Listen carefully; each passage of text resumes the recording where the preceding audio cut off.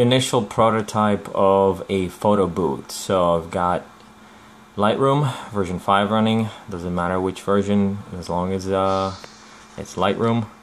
Um, got the EOS utility running um, for remote shooting without the live view.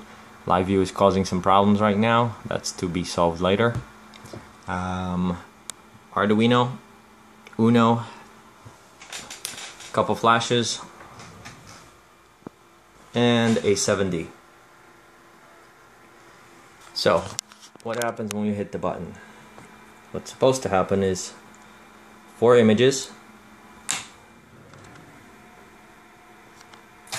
One, two, three, four. Okay, and it stops at four. You see them automatically popping in into Lightroom.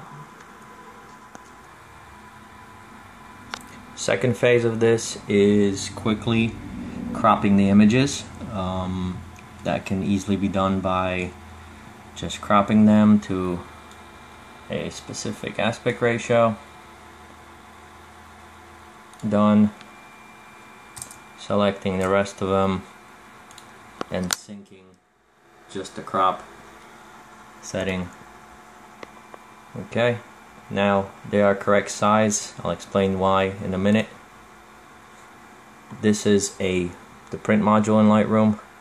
It is going to be used for creating two two by one and a half photos. Um, the strips will be two by six, four photos in each. So this is what's going to happen. Three, four. Obviously this is much slower than that can be done usually with one hand holding the phone. But um there it is. Printer's not here yet so we're going to print the file. And there we go. And there we have it. Printed to file. Um, to see what this file looks like we're going to it's on the desktop. And that is the file. It's a 4 by 6 so sliced down the middle. It will be a 2 by 6 and it will be a photo booth strip coming out of uh, out of the printer